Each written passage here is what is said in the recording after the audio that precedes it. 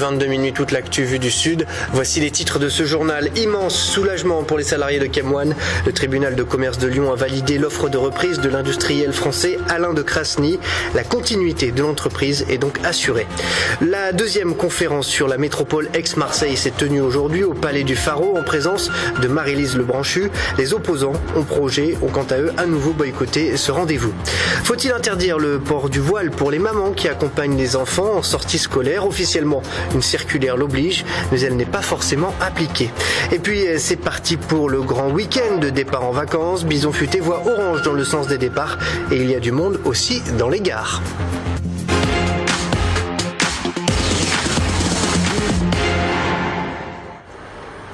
On commence donc avec l'épilogue du dossier Kemwan. Sans surprise, l'offre de reprise d'Alain de Krasny a été choisie par le tribunal de commerce de Lyon. C'était d'ailleurs la seule offre encore en lice. L'industriel français qui vit à Vienne en Autriche affirme qu'il arrivera à préserver les emplois. 1300 personnes travaillent pour Kemwan, dont plus de la moitié dans les Bouches-du-Rhône et le Gard. Franck Chassagnon. C'est un beau cadeau de Noël pour les salariés du groupe chimique Chemwan. Après deux jours de rebondissement, le tribunal de commerce de Lyon a rendu sa décision concernant le projet de reprise. Sans grande surprise, c'est l'industriel Alain de Krasny qui a été retenu. Les 1300 salariés concernés sont soulagés. Mon organisation syndicale Fossoyeur avait soutenu le projet de Krasny pour sa vision industrielle, que c'était un Français plutôt paternaliste. Le repreneur Alain de Krasny ne partira pas seul dans cette affaire. L'autre candidat, le fonds d'investissement américain Open Gate, qui s'était retiré jeudi, sera finalement associé au capital d'Alain de Krasny. Nous apportons de notre côté, outre évidemment des moyens financiers importants, une synergie avec des sociétés que nous possédons déjà dans les métiers de l'aval.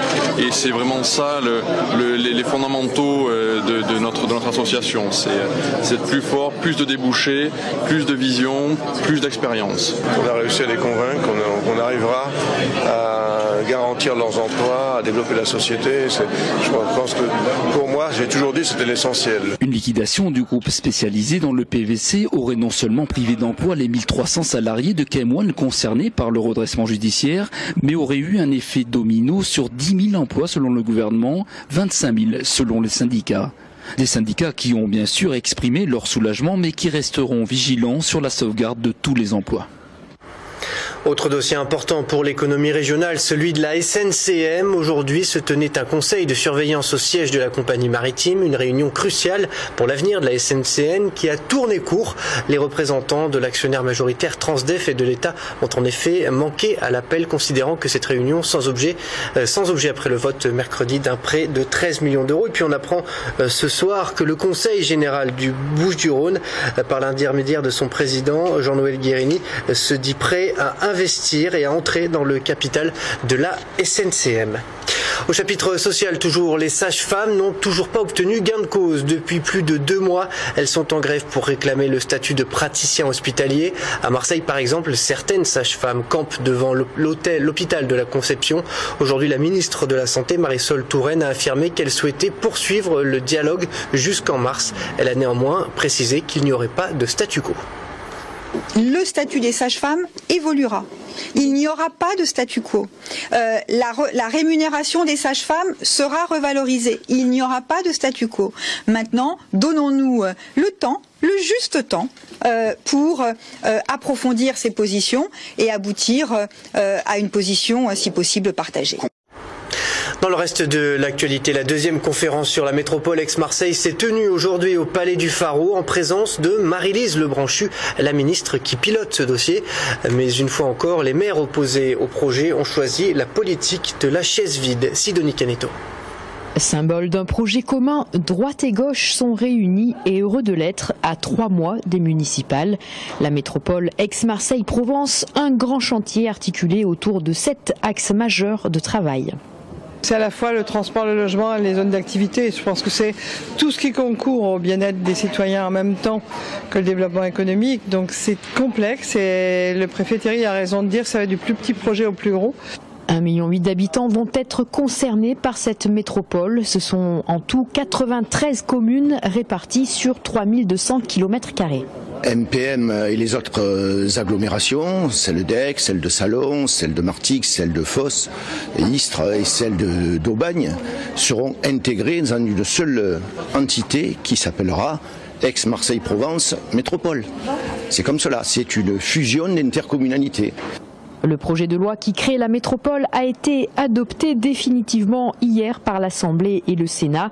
Les bases sont posées, naissance de l'institution prévue au 1er janvier 2016. Il faut que la ministre arrive à convaincre les maires que les maires auront toujours leurs responsabilités personnelles engagées pour faire en sorte que ce soit les mairies qui aient l'autorité sur les plans locaux d'urbanisme, sur l'attractivité, sur bien des choses. C'est ça qui est prévu, mais il faut convaincre les maires qui pour l'instant ne le sont pas.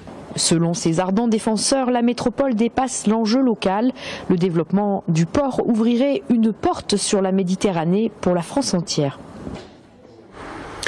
Autre titre ce soir avec une nouvelle polémique qui concerne le port du voile à l'école. Les symboles religieux sont interdits dans les établissements publics pour les élèves, mais certains voudraient aller plus loin en interdisant le port du voile pour les mères qui accompagnent les élèves pendant les sorties scolaires. Une circulaire qui va dans ce sens existe déjà depuis 2011, mais elle n'est pas vraiment appliquée. Reportage à Marseille, Marine Chabrolin. Devant l'école primaire de la Busserine, dans le 14e arrondissement, les parents d'élèves se pressent. Parmi eux, de nombreuses femmes voilées. Après la loi interdisant le port de signes religieux dans les établissements scolaires, une circulaire pourrait durcir cette loi en interdisant aux mères voilées toute participation aux sorties scolaires. Je comprends pas. Moi, j'ai ma belle-sœur qui est voilée aussi. La, il y a une sa directrice lui a dit justement qu'elle ne pouvait pas accompagner les enfants. Et moi, tant que les mamans sont correctes, voilées ou pas, je vois pas. Euh, c'est quoi qui dérange On doit, on doit adopter la, loi du pays, moi je pense, qu'on doit se plier aux règles du pays. Hein.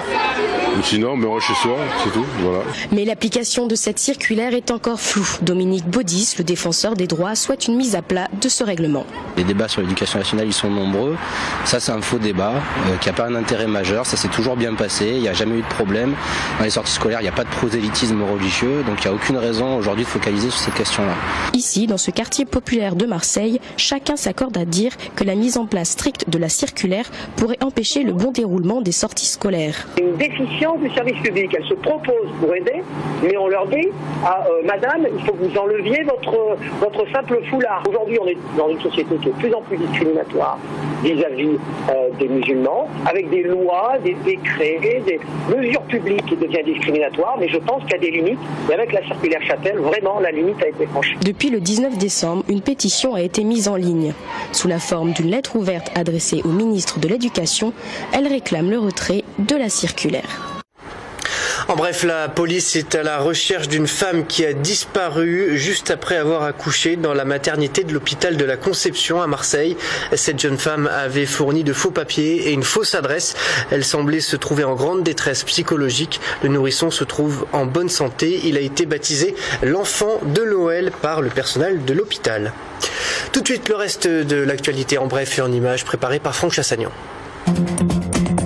Ne pas laisser de bâtiments vacants alors que la crise du logement est plus que jamais présente et que le système d'hébergement d'urgence pour les sans-abri est saturé, la ministre du Logement Cécile Duflot a rappelé aujourd'hui que 3,5 millions de mètres carrés de bureaux à Paris étaient vacants et sans doute 5 millions en France.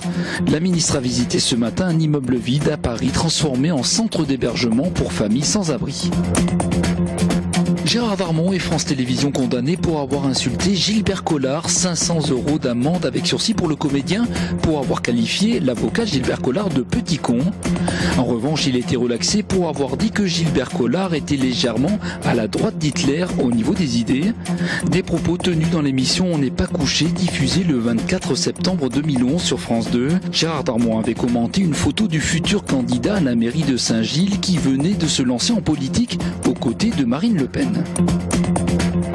C'est la petite dernière de chez Citroën. La marque automobile française a dévoilé un nouveau modèle de sa gamme DS, la DS 5LS destinée avant tout au premier marché automobile mondial, la Chine. Il s'agit d'une grande berline de 4 mètres 70 de long qui présente une silhouette en trois volumes. Elle offrira un espace important pour les passagers à l'arrière, de même que des équipements comme un écran tactile ou encore un purificateur d'air pour répondre au goût des clients chinois. Elle est aussi dotée d'une nouvelle face avant qui sera celle des prochaines DS en difficulté financière, la marque espère avec ce nouveau marché remonter un peu la pente. Un mot à présent sur le grand départ du week-end. Bison Futé voit orange dans le sens des départs. Beaucoup de monde aussi dans les gares. La SNCF table sur 5 millions de voyageurs pour ses vacances de Noël. Certains ont pris le train cet après-midi. Et quelques réactions au micro de Sidonie Caneto. Ouais, ouais, c'est les vacances, ça y est. Les vacances commencent, oui. Ça, fait plein de semaines, ça fait du bien, tout à fait. Là, je pars euh, dans les îles Cap-Vert, 8 jours, et ensuite je repars 8 jours sur Marrakech. Euh, non, moi ça va parce que je suis en année sabbatique, entre guillemets, donc euh, c'est tranquille. On, part à Lille et à Paris, retrouver la famille, les amis, voilà, pendant une semaine. On va à Disneyland. Bonnes vacances Merci vous aussi. Bonne Noël Direction Nîmes à présent pour euh, continuer de parler de Noël, Nîmes ou euh, des maisons avec des guirlandes électriques. C'est une mode relativement récente qui nous vient des États-Unis, mais parfois cela peut prendre des proportions inattendues. C'est le cas avec euh, ces deux habitants de la commune de Pignan, c'est dans l'Hérault, deux voisins pour le moins illuminés. Vincent Pereira pour midilivre.fr.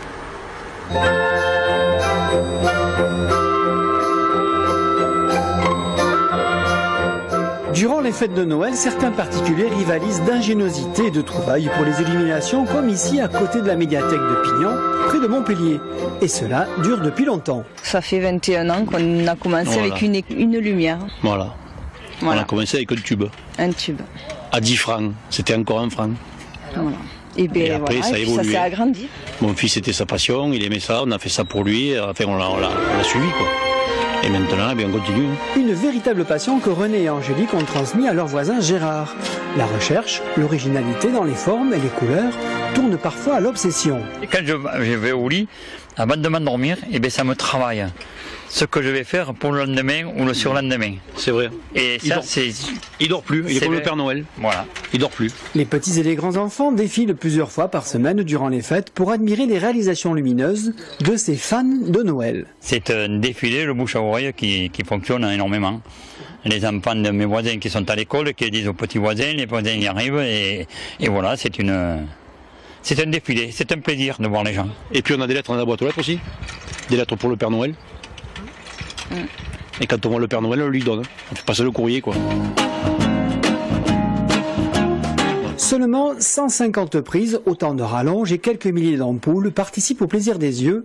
D'une année sur l'autre, les illuminations seront photographiées de manière à ne pas avoir la même décoration pour l'année prochaine. Et forcément, il y aura de nouveaux éléments. What is Christmas? Christmas is for. What is Christmas? Can't